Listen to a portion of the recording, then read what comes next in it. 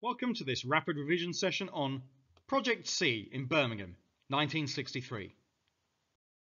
C equals confrontation. What was Campaign C?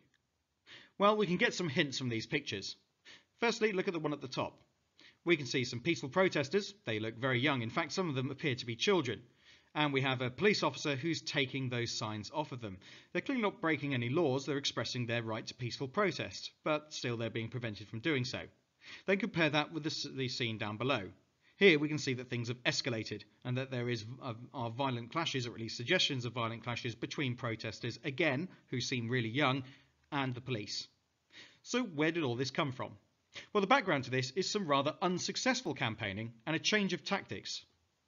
In 1961, the Student Nonviolent Coordinating Committee and National Association for the Advancement of Coloured People and others staged marches and boycotts in Albany, Georgia, there were arrests, but no public violence. In December that year, the Southern uh, Christian Leadership Conference and Martin Luther King got involved. Again, there was no violence. Good news. But pro these protests drew little coverage from the media, and so did very little to change anything. On April the 2nd of 1963, SNCC, SCLC, and the ACMHR, that's the Alabama Christian Movement for Human Rights, began Campaign C, sometimes referred to as Project C, they chose Birmingham, Alabama, for the following reasons. The city was very segregated, and so it's a place that needed to be brought to attention and that needed to change. White terrorism there had earned it the name Bombingham the, after a number of black churches and homes had been attacked. People had indeed been killed. And also because of their chief of police, or rather the Commissioner for Public Safety, Bull Connor, who was a violent racist who would be easy to provoke into attacking peaceful protesters. And that is precisely what happened, and in so doing, it gained publicity. Let's have a look at how. The violence in Birmingham, May 1963. Between the 2nd and 3rd of May, there were sit-ins, boycotts and protest marches. Around 1,000 people were arrested by Bull Connor's police. Uh, that's Bull Connor in the corner there. Connor's response as Commissioner for Public Safety was brutal. Protesters had uh, expected a confrontation and they certainly got one. One of the common tactics was the use of fire hoses. These had been set at £50 per square inch and fired at the protesters, which could knock them to the ground. Later, Connor authorised the uh, increase in power up to 100 psi, which could genuinely break bones. Also, you had mass arrests, beatings, and alleged torture within the jails. Many of the people who had been arrested were in fact young people. After the first day, uh, having lost uh, a thousand people to arrests, many uh, of the young people in the city decided to take the matters into their hands instead. So they walked out of school, started protesting, and they too were arrested. Scenes of very young people and even school children being arrested, beaten up, shot at with um, with fire hoses, and being dumped into overcrowded police cells went around the country and shocked many people, including this very famous image here. This man was actually a bystander, not an active uh, participant within the protest, and yet still we can see a police dog has been set on him. All of this got the world's attention, and the attention of the President of the United States, John F. Kennedy. The protests in Birmingham achieved their aim in attracting mass publicity.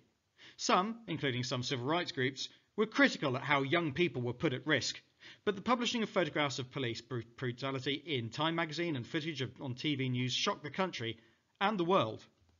Could the USA claim to be the home of the free with such scenes going on? This could be a major propaganda victory for Soviet Russia, who would like to claim that the United States was indeed a very unfree place.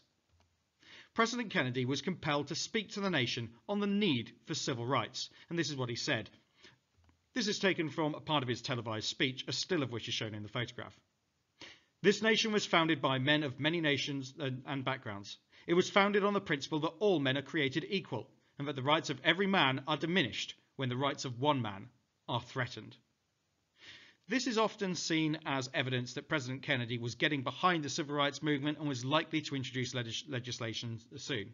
But he never got the chance to, and so we'll never be entirely sure how committed to the cause he was because he was assassinated in November of 1963 before he could take any substantial action.